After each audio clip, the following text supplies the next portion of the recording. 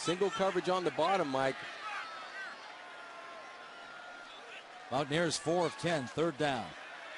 Smith starts. He's got it!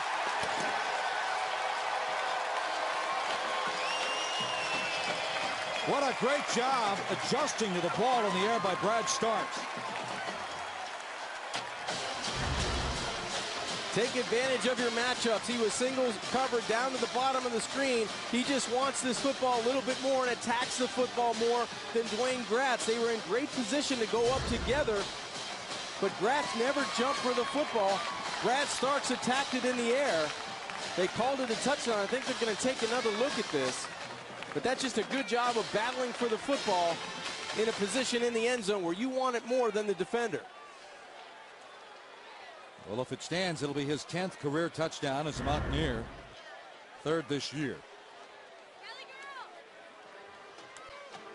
Covered 22 yards. He clearly had both feet down. All you need is one in college football, but we're looking for possession of the football. He has it there. I think he has And it. it looked like he had it to the ground. was ruled a touchdown, and they're looking for indisputable video evidence. Here's a real good look, Mike. He's definitely in bounds. Let's take a look. Focus on the football. That was a big time play. Yeah, big time catch by Starks in the end zone. That's where you had to go with the football. Man to man coverage, press coverage.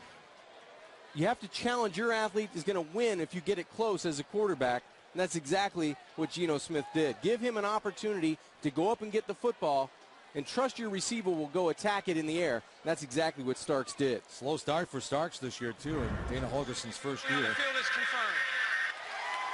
It's a touchdown, his 10th career touchdown. So Smith now 22 of 38 for 350 yards as he flirts with another 400 yard game. Yeah, it's just becoming routine. Another day at the office for Geno Smith when he throws for 350, hitting nine different receivers on the afternoon. Starks was the ninth. Bitancurt is still perfect in 2011 in the extra point category. And the Mountaineers now seven points away from their average with 33 on the scoreboard. 10-9 halftime score and the big play starting to build up now for Dana Holgorsen here in the second half. Well, the offense is starting to click. They're getting the matchups on the outside. We talked about the injury problems to the secondary of UConn and not having Blidi Wreh-Wilson out there on the edge. They're a man short, and they're playing with a lot of young guys out there, forcing man-to-man coverage in as they close to the, get to the red zone. But that's just a better play going up and challenging and getting the football.